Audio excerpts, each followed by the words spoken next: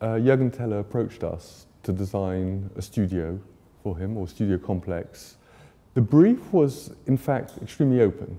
He needed spaces to work, and that is, um, uh, in the end, a very open thing, particularly with Jürgen Teller's work, because he doesn't work in a kind of typical uh, photographer studio. He always works in a location. So it was as much about making studio space as making situations within which he could make new work.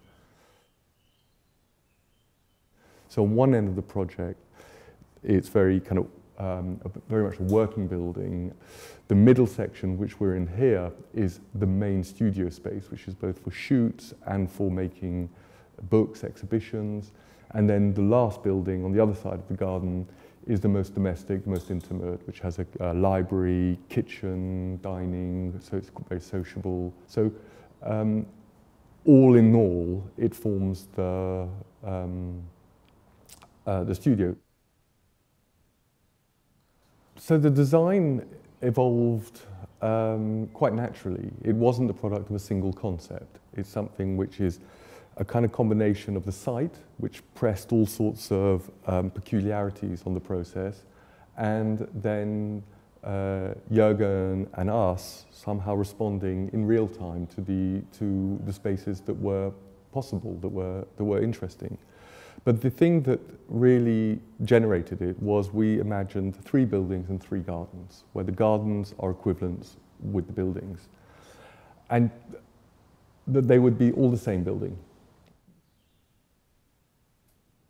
The gardens became more and more kind of ruinous as an idea. So gardens which are not sort of particularly um, tidily kept, they're more sort of wild and dense. And that the concrete would provide a sort of, um, a sort almost like sort of eternal background to all of this, all of this changing situations in Jürgen's kind of work, in the, the, the kind of the photography, but also changing situations in terms of the landscape and the gardens.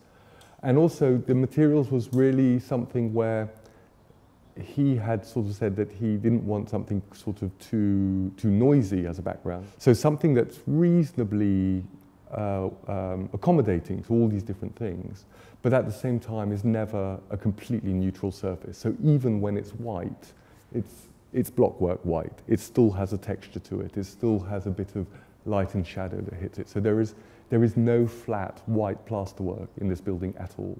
Um, and it gets sort of overlaid by sets, by situations, by the weather. Um, so somehow it's also constantly changing.